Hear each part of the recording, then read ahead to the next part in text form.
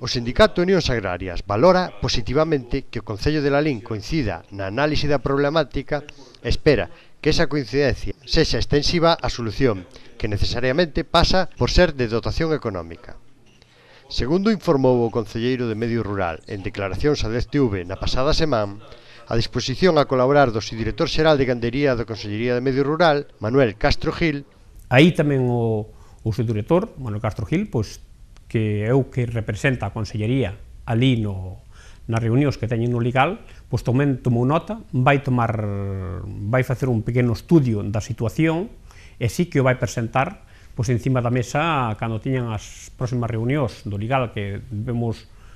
recordar que son sindicatos agrarios, cooperativas e industrias. Unións agrarias propón que se retome a iniciativa dende onde se deixara e que a Xunta dote o legal do orzamento necesario para que poida desenvolver a súa actividade con plenas garantías de fiabilidade para o sector.